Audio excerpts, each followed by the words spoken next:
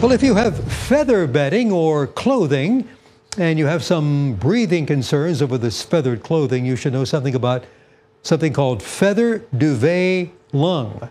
You're sensitive to pillows filled with duck or goose feathers.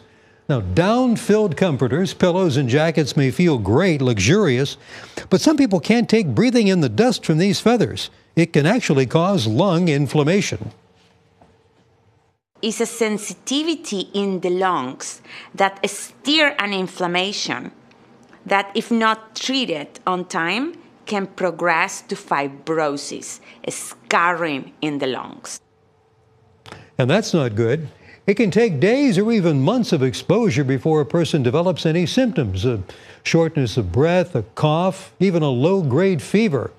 This is called pulmonary fibrosis, and unfortunately, it's irreversible but there are treatments to stop its progression. They include steroids and immunosuppression drugs. And of course, you have to get rid of the feathers too.